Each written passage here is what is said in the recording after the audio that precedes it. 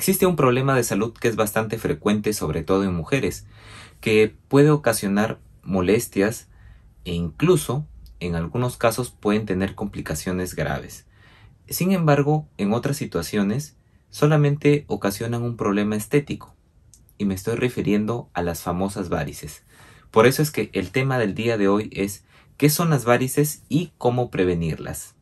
¿Qué tal? ¿Cómo están? Les habla su amigo el doctor Elmer Luna y antes de continuar con la explicación del video, si no estás suscrito a este canal, ¿qué esperas? Y suscríbete de una vez, activa la campanita para que recibas las notificaciones cada vez que subo un video nuevo y no te pierdas nada del contenido que subo a este canal. Y también para que me sigas por mis redes sociales, por Facebook, le das seguir a la fanpage y también por Instagram, le das un like a la publicación y luego vienes a este canal, tu canal, para que no te pierdas ningún detalle de la información que te voy a brindar a continuación. Bien, les comentaba sobre las varices. Las varices no son otra cosa que un agrandamiento y una tortuosidad de las venas, ¿no? Por eso se le, también se le conoce como venas varicosas y que suelen causar algunas molestias que ya voy a comentar a continuación. Es más común en las mujeres puede afectar a cualquier vena de cualquier parte del cuerpo, pero principalmente a las venas de los miembros inferiores, debido a que nosotros por nuestra postura estamos más erguidos y por lo tanto la mayor presión está sobre las piernas.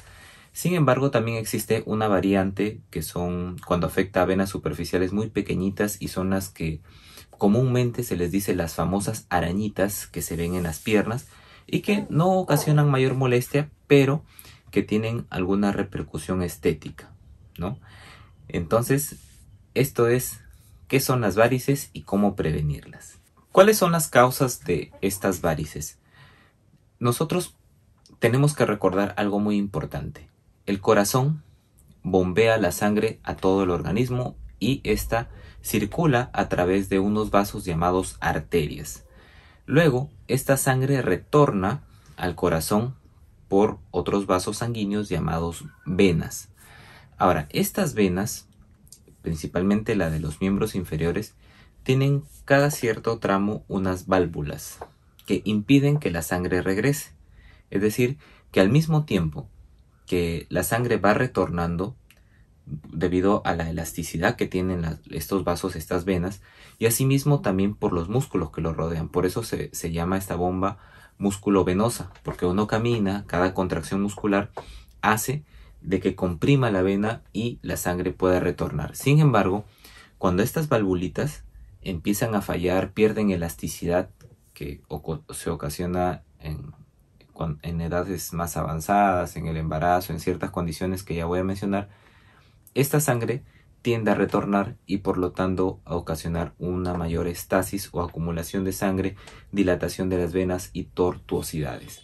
¿no? Y esa principalmente es la causa de las varices. ¿Cuáles son los factores de riesgo?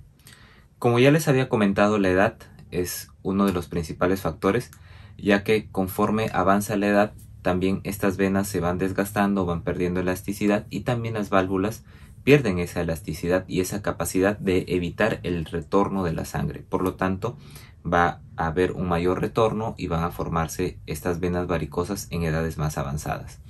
El segundo factor es el sexo, es decir, la mujer es la principal este, protagonista aquí, porque por su misma condición hormonal, eh, ya sea en la menstruación, en la menopausia o también en el embarazo, en el cual se producen una cierta cantidad de hormonas que lo que hacen es relajar aún más las paredes de estos vasos sanguíneos y por lo tanto un mayor retorno o un menor retorno, digamos así, y, la sangre empieza a acumularse, los vasos empiezan a dilatarse y por lo tanto se producen las venas.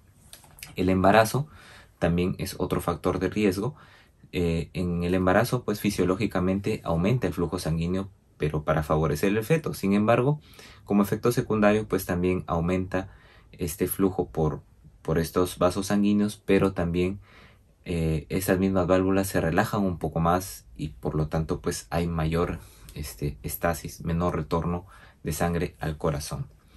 Otro factor es el consumo de ciertos medicamentos como píldoras anticonceptivas, por ejemplo, que si bien tienen una función principal, pero como efecto secundario por la carga hormonal pueden ocasionar este problema de salud. Otro factor de riesgo son antecedentes familiares, es decir, que si han tenido familiares, mamá, tías, abuelas con problemas de varices, es posible de que haya un riesgo mayor de desarrollar este problema de salud. Y por último, permanecer mucho tiempo de pie. Personas, por ejemplo, que hacen servicios de vigilancia, de este de repente los mismos profesionales de salud que estamos mucho tiempo de pie o u otra profesión que implique eh, estar en mucho tiempo en bipedestación. Entonces eso también aumenta el riesgo de las varices. ¿Cuáles son los síntomas o signos de esta enfermedad? Bueno, primero es que es llamativo porque lo que se nota es que estas venas se ven engrosadas o como cordones que sobresalen por debajo de la piel.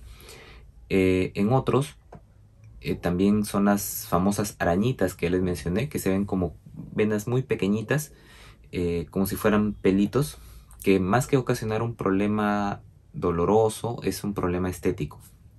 También, en algunos casos, Quizás no todos presentan algunas molestias como sensación de pesadez en las piernas, dolor, a veces hinchazón, un picor, ardor o incluso el dolor que aumenta cuando la persona se pone de pie o camina.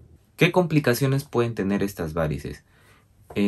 principalmente son tres las complicaciones, las úlceras, principalmente en las zonas más distales de las extremidades inferiores, por ejemplo alrededor de los tobillos, en los cuales la piel que está alrededor empieza también a sufrir una lesión por, por una irrigación deficiente, un retorno venoso eh, no muy adecuado hace que esta sangre se acumule pues y no se oxigene bien esta zona. Por lo tanto la piel empieza a lesionarse, a dañarse y puede ocasionar una úlcera.